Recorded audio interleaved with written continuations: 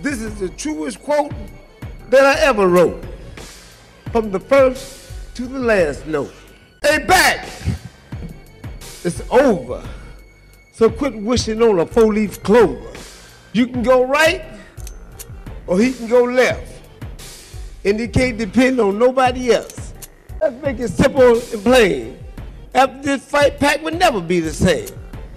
It ain't no diggity, it ain't no doubt. Pac finna find out what it's all about.